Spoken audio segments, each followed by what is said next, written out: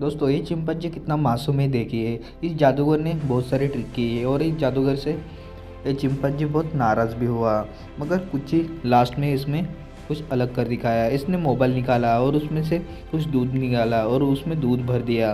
यही दूध देखकर वो बंदर पे उस दूध को पीने लगा, मगर उस दूध को नहीं पी पाया। उसके बाद उस जादूगर ने मूंगफलियाँ निकाली और उसको मूंगफलियाँ दी।